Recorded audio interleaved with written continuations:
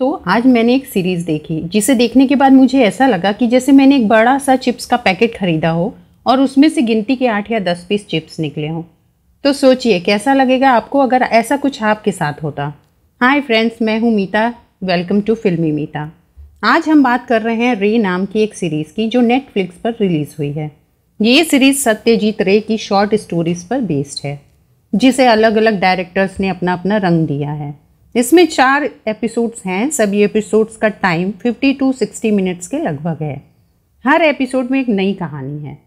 चलिए बात करते हैं फ़र्स्ट एपिसोड की। इसका टाइटल है फॉरगेट मी नॉट इसमें लीड रोल में है अली फजल और श्वेता बसु। वही श्वेता बसु जिनकी दमदार परफॉर्मेंस हम ताशकुन फाइल्स में देख चुके हैं।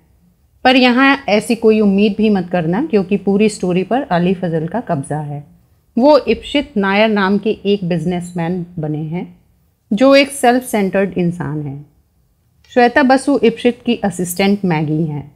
इप्शित का दिमाग कंप्यूटर से भी तेज़ चलता है। वो कुछ भी भूलता नहीं है, पर धीरे धीरे वो सब कुछ भूलने लगता है और अंत में पागल खाने पहुँच जाता है। इन सब के पीछे किसका हाथ है, ये तो एपिसोड देखते देखते समझ ही आ जाता है।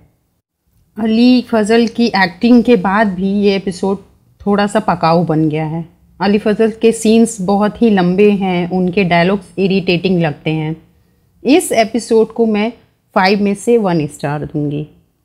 बात करें सेकेंड एपिसोड की, जिसका नाम है बहरूपिया, जिसमें लीड कास्ट में है के के मेनन और विदिता बाग ये एपिसोड पूरी तरह से के के मैनन का ही है। विदिता, बाग उसमें बस हैं। उनको करने को कुछ खास मिला नहीं है। के के मैनन एक मेकअप आर्टिस्ट है जो बहुरूपिया बनकर लोगों को धोखा देते हैं। वो अलग अलग रूप बनाते रहते हैं और अपने आप को भगवान के बराबर समझने लगते हैं और अंत में बहुत बुरा फंस जाते हैं। स्टोरी काफ़ी अच्छी है और के के मैनन का काम भी काफ़ी अच्छा है। बाकी सारी चीज़ें एवरेज हैं। इस एपिसोड को मैं पाँच में से दो दूँगी। अब बात करते हैं थर्ड एपिसोड की, जिसका नाम था हंगामा है क्यों बर्पा। ये एक बहुत पॉपुलर गज़ल की लाइन्स हैं। ये एपिसोड मुझे सबसे बेटर लगा, इसमें लीड रोल में मेरे फेवरेट मनोज वाजपेयी और गजराज हैं। ये कहानी शुरू होती है एक ट्रेन के कंपार्टमेंट में, जहाँ मुसाफिर अली और बेग साहब भोपाल से दिल्ली के सफ़र में मिलते हैं।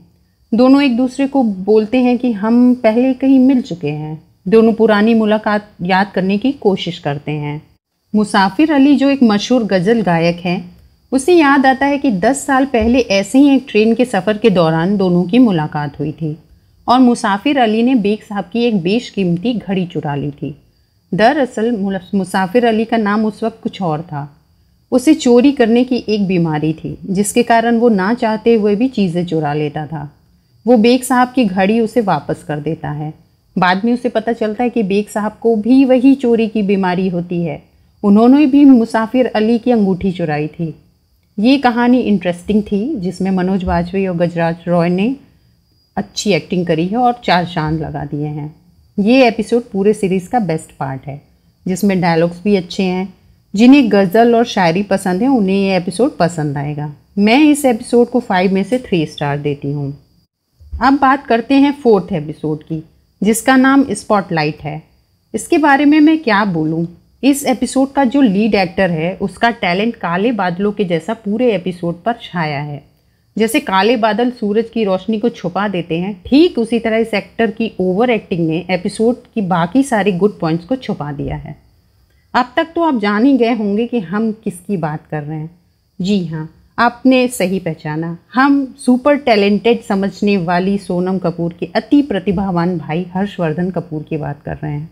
इनको लगता है कि प्रतिभा और कला भी विरासत में मिल सकती है। पर भैया, ऐसा नहीं होता है।